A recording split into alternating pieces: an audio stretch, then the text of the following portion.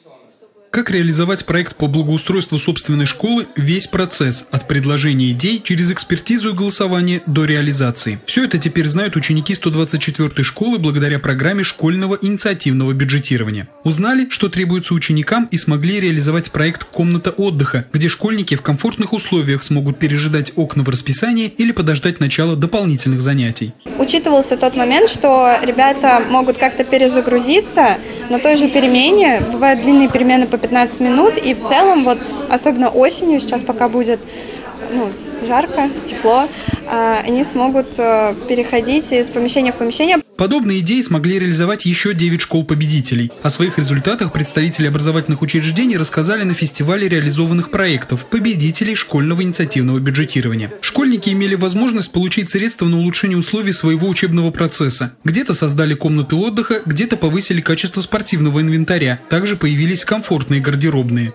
Этот уникальный проект «Школьное инициативное бюджетирование», конечно же, даст детям очень многое.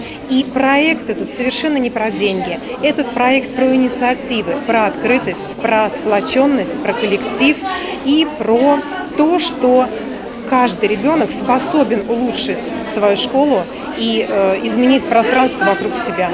Детали выбора проектов и вопросы реализации школьные команды представили на специальных стендах. Там же гости фестиваля могли выбрать учреждение, которое получило приз зрительских симпатий. Проголосовала за понравившиеся проекты и глава Самары Елена Лапушкина, которая поздравила участников проекта и напомнила, что теперь они обладают уникальным опытом реализации своих идей, который нужно передать их сверстникам. Мне радостно от того, что вы, в общем-то, уже получили эту замечательную практику, вы уже выбрали свои проекты, вы уже смогли их защитить, более того, вы их смогли реализовать. И теперь вы будете теми людьми, на которых будут равняться, и, в общем-то, вы будете делиться своим опытом, и я надеюсь, что вы это будете делать искренне. На фестиваль пригласили также и представителей школ, которым предстоит поучаствовать в инициативном бюджетировании в наступающем учебном году, чтобы они смогли оценить все нюансы этой работы. Самара стала первым городом в регионе, где была применена такая практика. Ее поддержал губернатор Самарской области Дмитрий Азаров. Теперь такие проекты развивают и в других муниципалитетах региона. Андрей Горгуленко, Константин Головин. События.